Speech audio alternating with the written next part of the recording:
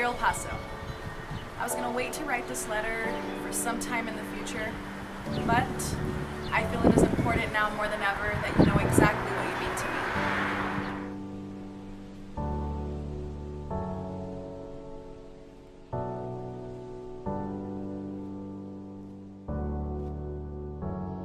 When I think of you, I think of a warm embrace on a chilly evening.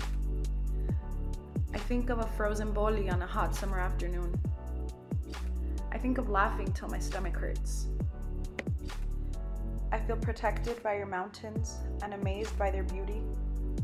But what is even more beautiful is that you've never made me feel like an outsider, and you've encouraged me to treat visitors with the same love you have shown me.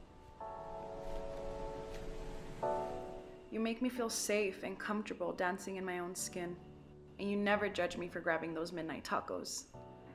I'm not sure what it is about you that brings out the best in everyone. Maybe it's the generations of hardworking people that have passed through this desert city that leaves an imprint in our genetic line. Or maybe the mystery of the desert and enduring its heat makes you resilient, and in hand, you make us tough.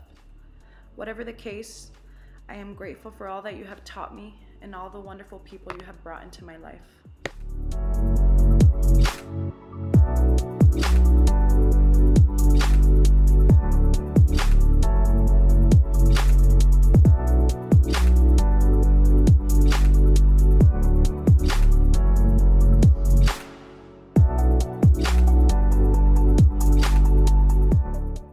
Could never forget all the times I had nowhere to run but to your streets, to your mountains, to your parks. El Paso, you're always a friend I need when life's trials and tribulations are getting the best of me. But you, you hold up a mirror and show me the best in me. Your warm air surrounds me and whispers that I am El Paso strong.